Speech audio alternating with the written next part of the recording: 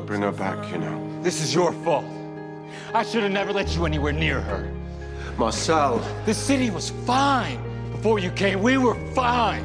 Davina was safe.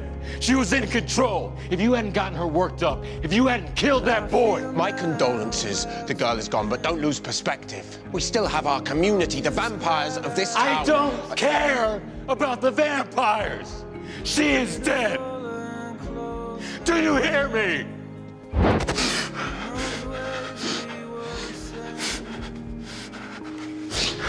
I'm sorry. You may think I know nothing of your grief, but you're wrong.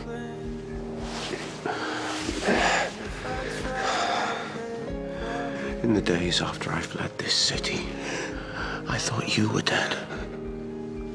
It was years before I could speak your name so keenly did I feel that loss.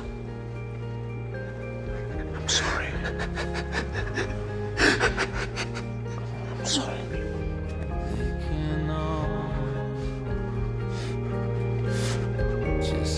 Are you ready to forgive me yet? It's not that easy, Hayley.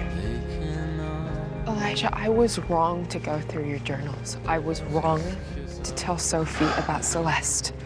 But after everything that happened today, I don't know why we can't see past this. You, of all people, should know why. During my fever in the bayou, you were inside my mind. You know what Celeste means to me. Don't you mean meant to you? No. Do you have any idea how rare love is? In a thousand years, I have found it but twice, and when I have, I have honored it. I know what a promise means to you, Elijah. But you made it 200 years ago. I live in the now. If I feel something, I act. If I want something, I take it.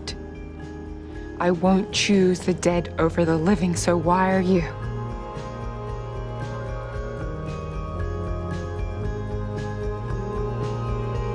I'm sorry, Elijah.